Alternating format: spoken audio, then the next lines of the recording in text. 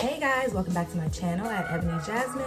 I know it's been a while since I've recorded. I'm really sorry y'all. I've just had a whole bunch of stuff going on. I've really started getting into like the nitty gritty of like tech school. I just started class. So I apologize that I haven't been on here in a minute, but this video is going to let you guys know what I've been up to, what I've been doing, what you should expect to happen once you start tech school. I'm gonna go over the phasing program, the process of just how things work and kind of like the the day-to-day -day of just being in tech school, transferring over from that BMT environment to a tech school environment.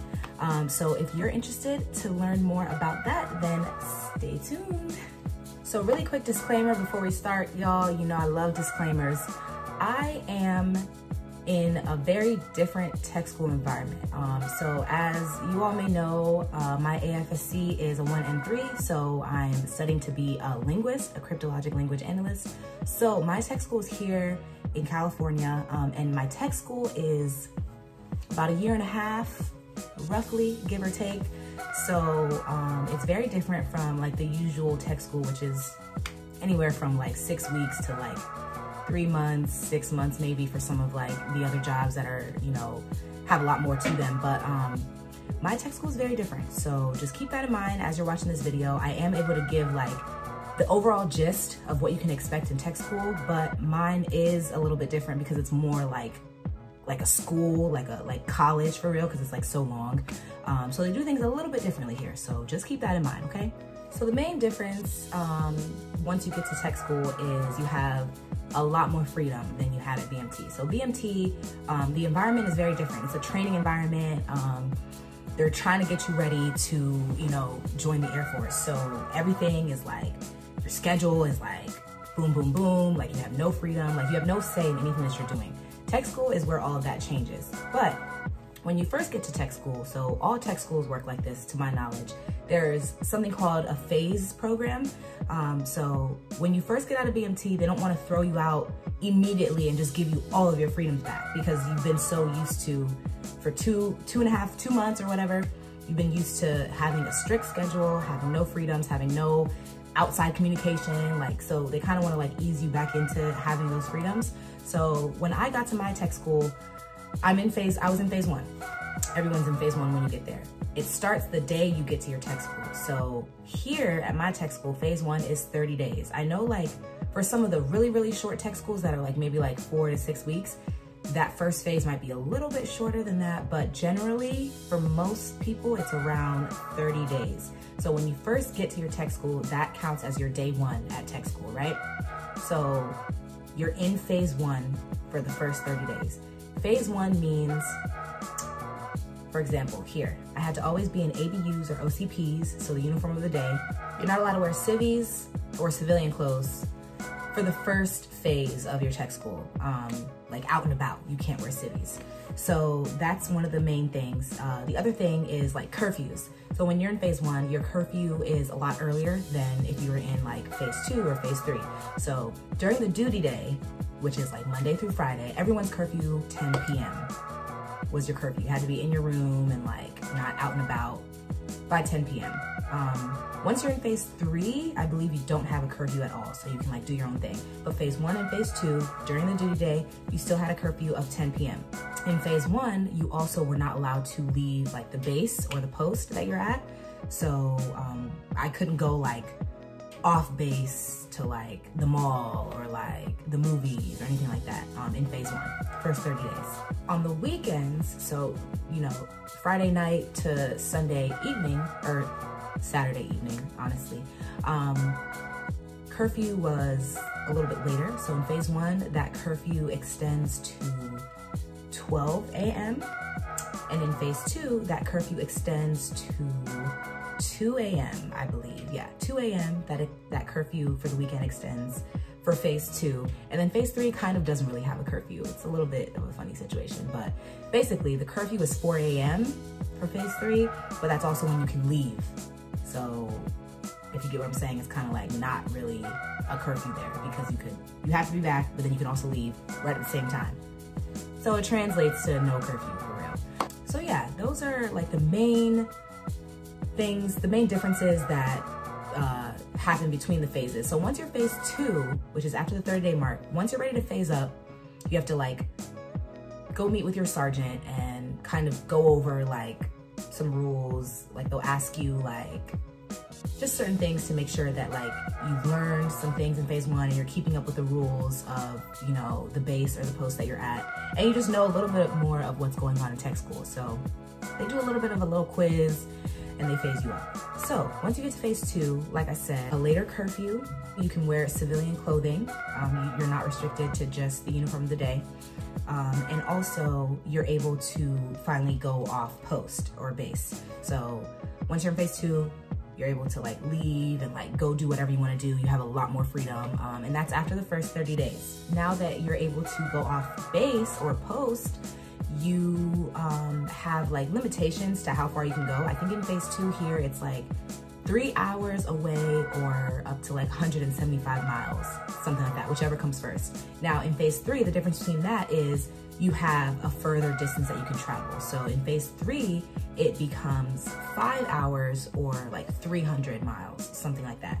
Um, and this is just when you're taking like weekend leave, like if we have like a long four day weekend or like just a regular weekend and you're taking, you're going off uh, poster base, uh, those are your limitations. But that's different than taking like a full blown like leave where you can like, you're actually taking time off and like you can like fly to where you gotta go or like go beyond those distances. That's like a whole different thing. Like, so it's two different kinds of like leave. Like there's just weekend leave and then there's like full blown like leave. So keep that in mind. Another main difference between tech school and BMT, when I first got here, like I was still in BMT mode. So I was like very, very on edge, like yes sir, no sir, yes ma'am, no ma'am. Not that you, you don't do that anymore. You still, you know, have your customs and courtesies. But for example, we got picked up at the airport by other airmen and I was like, yes sir, like no ma'am, like, you know, and they were other airmen just like me. I didn't know that at the time, but anyways, it's a way more relaxed environment. Um, but this is where it gets a little tricky because like I said, my tech school is a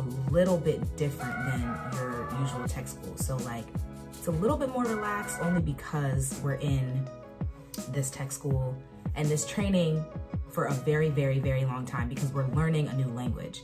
So they kind of want you to focus a, just a little bit more on like passing your language courses because they're very, very intense um, and they're very, very demanding. So like some of the Air Force things kind of are not as emphasized all the time. Don't get me wrong, we still do the same things. We're still we're still airmen and all of that, but it is a little bit of a different environment. In tech school, you still have PT tests, you still have room inspections, um, you still have like open ranks, you still have all of the basic like things that were ingrained in us in BMT, but it's just less frequent and it's not as daunting. Like it's not as like, oh my gosh, like my would do this. Like it's it's more of a laid back environment. You are still an airman. You are still expected to uphold all of those values and things that we were taught. You will still need to make sure you're on top of your, your shit. You know what I mean? So you'll still have to like keep up with strings and making sure that you look presentable. It's not gonna be like BMT where like they're checking every day for like every little thing on you, but just know that that is still something that is expected and will happen. Just depends on like how frequently, just depending on where you're at and how that tech school does things. I know speaking from experience where I'm at, it's not as frequent, but it is still something that's done. We have PT appraisals here once every quarter. So once every three months, we have like a PT test. It's not like our main one, but if you fail that, you will be put in remedial PT. And if you get over a 90, um, it can get you out of mandatory PT. So we do those every quarter.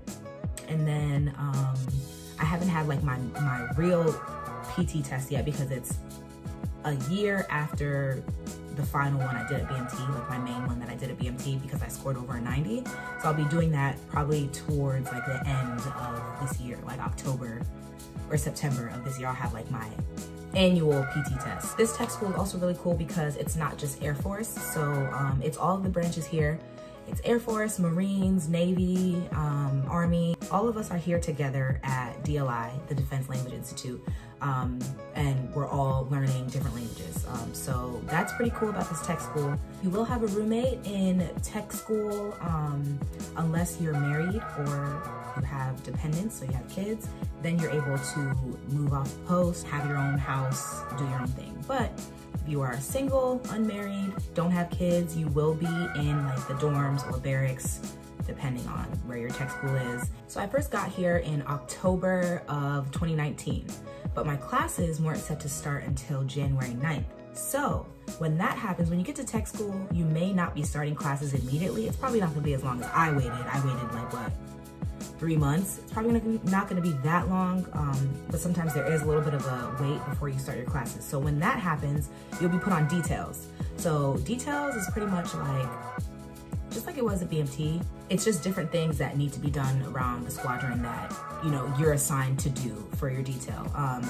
but if your class doesn't start for a really long time, you can be put on a permanent detail, which that's more like uh, things like CQ, like helping out with their CQ or like working the mailroom or something that's like more long-term because you're gonna be on details for like a longer time than most other people who will be starting class in like a couple weeks or whatever. But um, for people who don't start class, I know for people who start class a bit sooner, their details are more like the usual like cleaning like the public bathrooms or like sweeping the halls, mopping, um, taking out trash, like just little things. It's really not that bad at all. So I just started classes January 9th. Um, so I've really been like really in the nitty gritty now. So when I first got here, like it wasn't really like, I didn't really have the full like gist of tech school because I was in details for like so long. So it was like not really like full blown understanding like how my school is gonna go.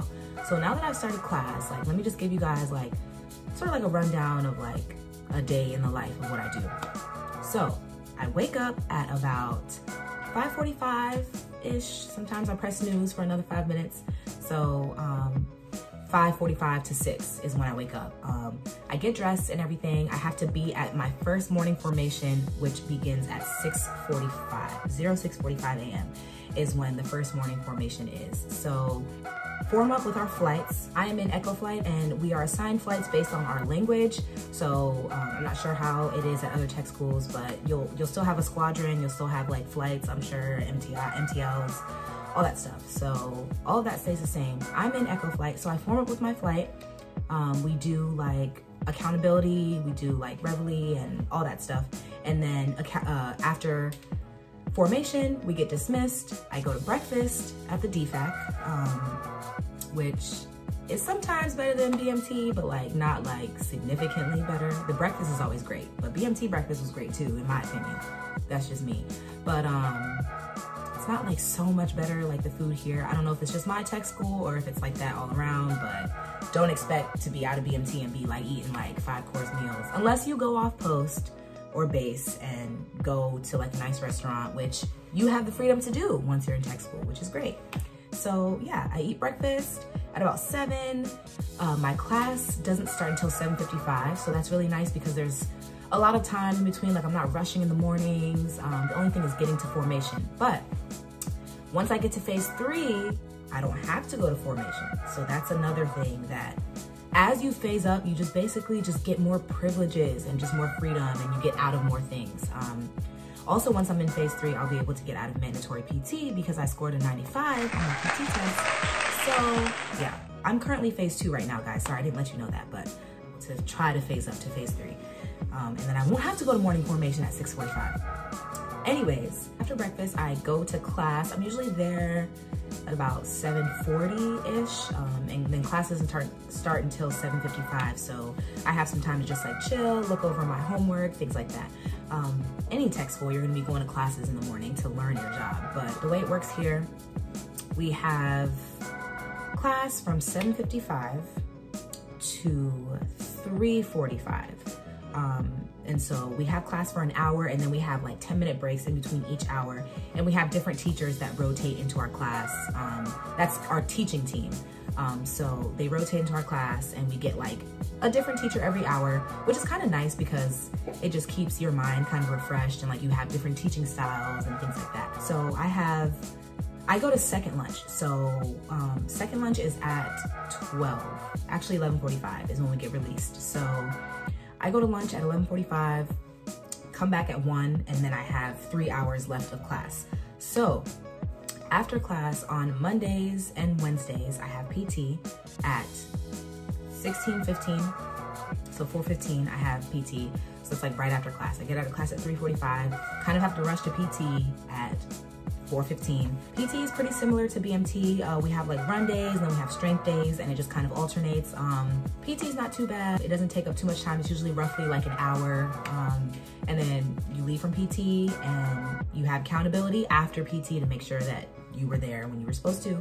Um, and then that's the last accountability or formation of the day. And then after that, you're done with your duty day and you're free to do what you want. You have accountability at night at around 9 p.m. or 10 p.m. Uh, I can't remember exactly what time they do it because I don't do it anymore now. But when I was in phase one, we would have accountability, make sure everyone's in their rooms at curfew, and then you're dismissed after that and you can go back into your room and do what you need to do. So that's kind of the rundown of like a typical day. Um, every day is different just depending on like what squadron events are going on or like flight events, like commanders PT, different activities and things like that um, that go on that kind of change the course of the day. But the, the gist of it kind of goes like that. So basically in tech school, it's great. You're gonna have so much more freedom. Um, you're gonna feel, you're gonna be able to feel like your own person again once you leave BMT and you're in tech school. Um, it is a little bit difficult just because you do have to focus. You are still doing your job. You're learning um,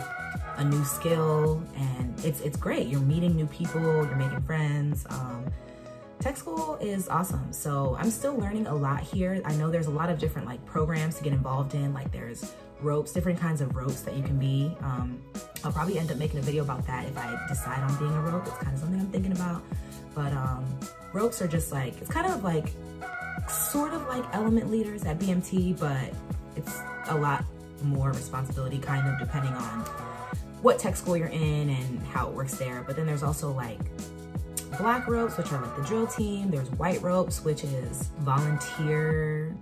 Like they do a lot of volunteer work. Uh, there's teal ropes. They deal with like sexual assault and like just just being there for other wingmen, just kind of being like a mentor and like just being someone who's always there to talk to and things like that. So teal ropes, teal ropes are pretty cool. Shout out to them. All the ropes are pretty cool, honestly. But um, yeah, so I'll get into more detail about the extracurriculars that you can get involved in at tech school once I kind of learn more myself while I'm here. But yeah, guys, so that is the gist of what I wanted to tell you guys about. Um, I'm sorry that I've been so busy, but um, oh, I didn't even get into like what I'm doing. So my language is Arabic, so I'm learning MSA, Modern Standard Arabic. Um, it's extremely fast paced. We're just learning so much every day. Um, but so far it's great. I love it. I'm having fun. I'm enjoying it. I'm learning so much. I've been doing good. I'm just super busy getting into the nitty gritty of things. So um,